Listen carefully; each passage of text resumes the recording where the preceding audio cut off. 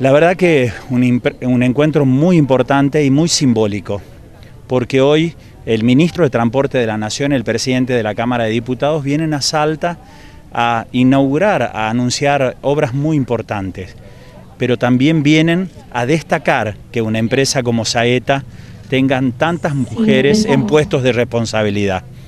La verdad que Saeta en ese sentido es señera y se distingue en el ámbito del transporte de pasajeros en tener tantas mujeres frente al volante, tantas mujeres como inspectoras. Y la verdad que eso nos llena de orgullo y marca claramente una política y un lineamiento que tiene el gobierno de la provincia. Eh, mi nombre es Romina Corrales, sí, eh, soy chofer de colectivo de la empresa Alto Molino, sí, este, momentáneamente como inspectora de Saeta me, desempeño ahora, sí, este, la verdad que muy contenta en donde estoy ahora trabajando, este, muy feliz por la, posibilidad que me dieron de la empresa Alto Molino para el puesto de trabajo y la empresa Saeta para desempeñarme como inspectora ahora en este momento.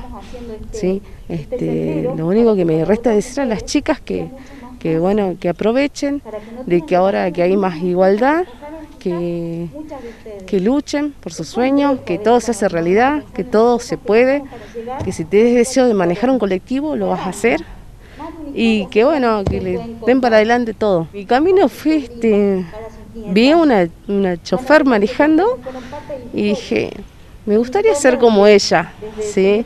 me gustaría demostrar que las mujeres sí podemos y bueno, y lo hice lo hice, eh, me puse esa meta y bueno, dije, bueno, voy a ser chofer de colectivo y, luchar por mis sueños y hoy en día estoy acá. Mi nombre es Emilia Antelo, soy chofer de colectivos de la empresa 1 Tadelva.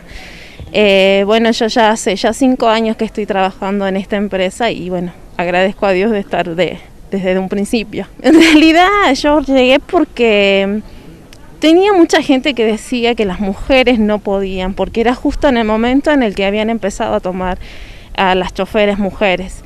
Em, soy una de las que creo que habían ingresado primeramente, éramos como 13 mujeres nada más que habíamos estado. Y más que nada porque mi esposo decía, mi esposo es chofer y él decía, no, las mujeres no van a poder, no van a poder, es un trabajo totalmente pesado para una mujer. Y yo le dije, no, yo sé que puedo, sé que lo vamos a poder sé que todas van, y te lo puedo asegurar.